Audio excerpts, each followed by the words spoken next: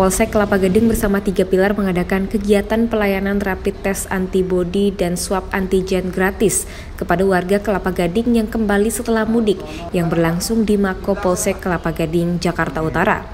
Kapolsek Kelapa Gading Kompol Rango Siregar mengatakan giat tersebut diharapkan dapat mendeteksi awal warga yang reaktif sehingga cepat dilakukan penanganan lebih lanjut oleh Satgas COVID-19. Sebanyak 3.000 alat swab antigen dan rapid test antibody digunakan dalam kegiatan tersebut.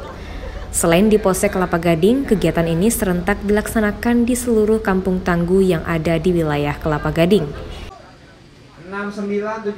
Dapat kami jelaskan di sini bahwa kepolisian Kelapa Gading bersama tiga pilar dari kecamatan maupun dari Koramil Kelapa Gading melaksanakan 71 tes 72. swab dan antigen untuk diprioritaskan kepada warga yang telah melakukan perjalanan menuju kampung halaman selama pelaksanaan Lebaran Idul Fitri kemarin.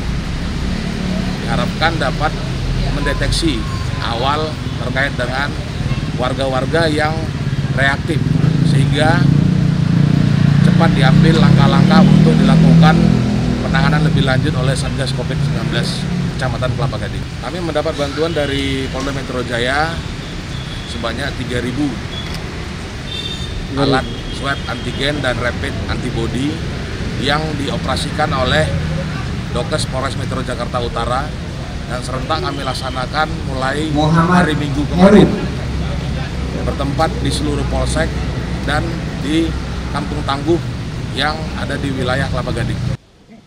Dari Jakarta, tim liputan melaporkan.